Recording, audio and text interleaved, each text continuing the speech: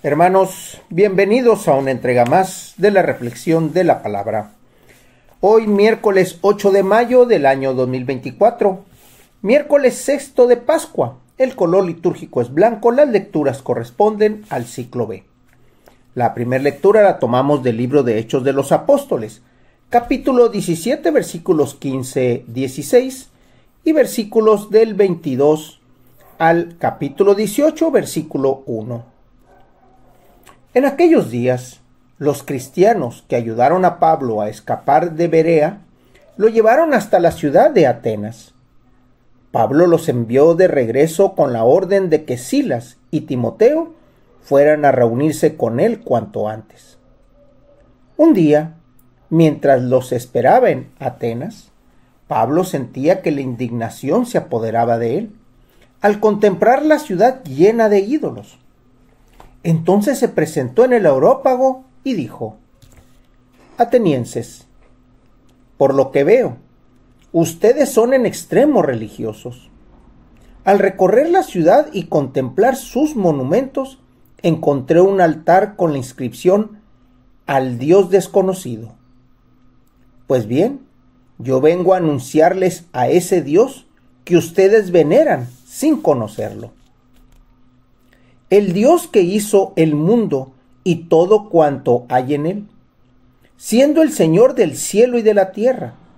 No habita en templos hechos por hombres, ni es servido por mano de hombres, como si necesitara de algo o de alguien, porque Él es quien da a todos la vida, el aliento y cuanto tienen.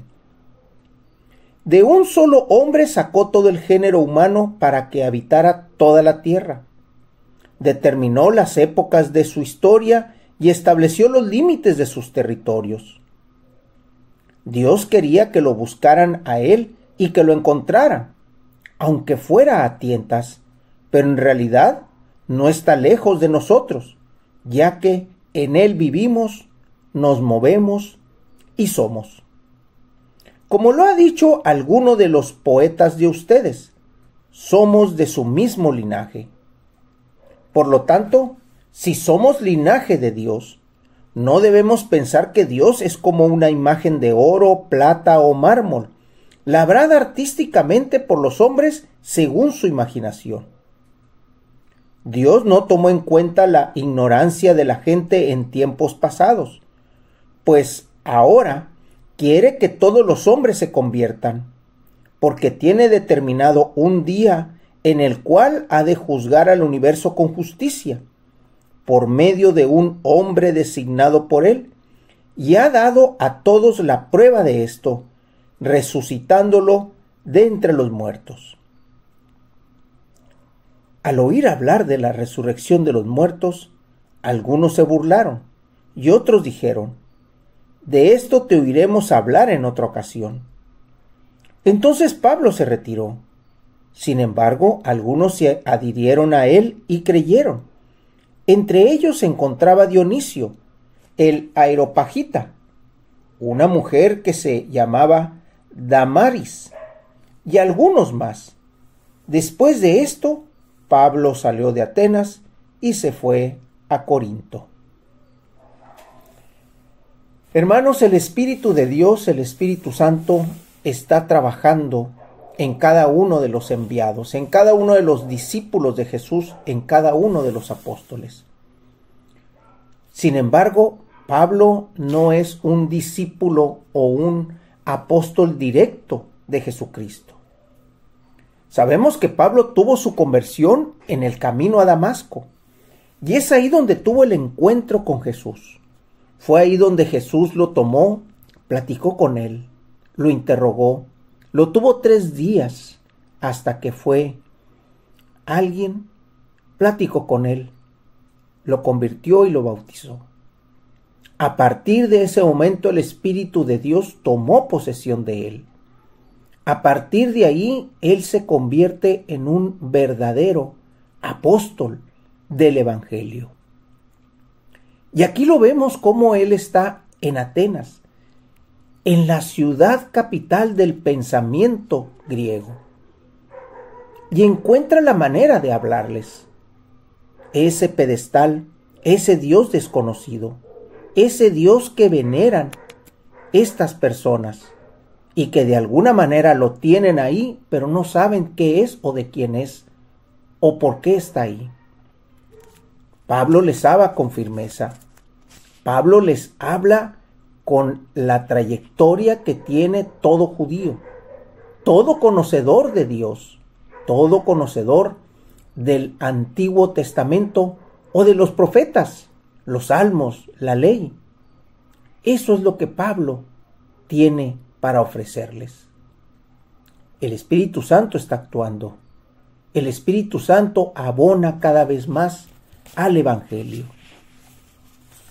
Del Evangelio lo tomamos del evangelista Juan, capítulo 16, versículos del 12 al 15. Jesús dijo a sus discípulos, Aún tengo muchas cosas que decirles, pero todavía no las puedo comprender. Pero cuando venga el Espíritu de la verdad, Él los irá guiando hasta la verdad plena, porque no hablará por su cuenta, sino que dirá lo que haya oído y les anunciará las cosas que van a suceder. Él me glorificará, porque primero recibirá de mí lo que les vaya comunicando. Todo lo que tiene el Padre es mío. Por eso he dicho que tomará de lo mío y se lo comunicará a ustedes. Juan nos habla y nos dice a través de Jesús, aún tengo muchas cosas que decirles. Ya habíamos escuchado cómo el Espíritu de Dios, el Espíritu Santo, se estaba haciendo presente porque era el paráclito que estaba por venir. Era la promesa del Padre una vez que el Hijo se retirara. Y aquí la vemos. Cuando venga el Espíritu de la verdad, Él los guiará hasta la verdad plena, porque no hablará por su cuenta, sino que dirá lo que haya oído y les anunciará las cosas que van a suceder. El Espíritu Santo también es portador de la palabra de Dios. El Espíritu Santo también es Evangelio, así como lo es Jesús. El Espíritu Santo va a hablar a nuestro interior, a nuestro espíritu, al espíritu que Dios nos insufló cuando fuimos creados. Va a hablar de espíritu a espíritu. Por eso Él nos va a guiar a la verdad, nos va a guiar de una manera interna, de una manera intuitiva para que nosotros podamos ir conociendo y avanzando en el verdadero Evangelio según se nos va revelando. Hermanos, en esta sexta semana de Pascua tenemos que estar más atentos al Espíritu de Dios, más atentos a esa voz de nuestro Espíritu que nos habla, nos dirige y sobre todo como dice el Evangelio de Juan, nos va revelando y nos va guiando la verdad. Hermanos, Dios los bendiga.